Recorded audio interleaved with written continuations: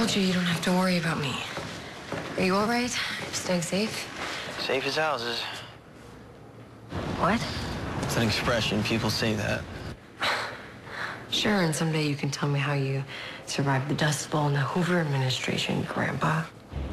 It's an ugly side of you, Daisy. It's too bad. You know the deal. I stop making fun of you when you tell me where you are. Yeah. Just keep your head down, okay? I don't want this thing to find you. Do you have any friends out there at least? Well, not as many as I used to.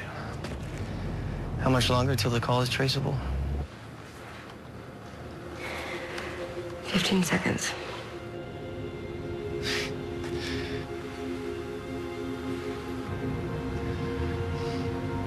I'll reach out soon. Hope so.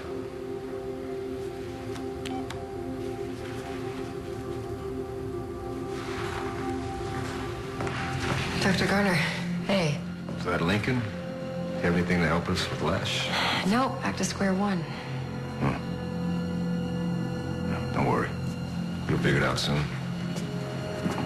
Hey, did Lincoln tell you where he is? I mean, he'd be safer here, under our protection. I know, but he doesn't believe me. He won't tell me.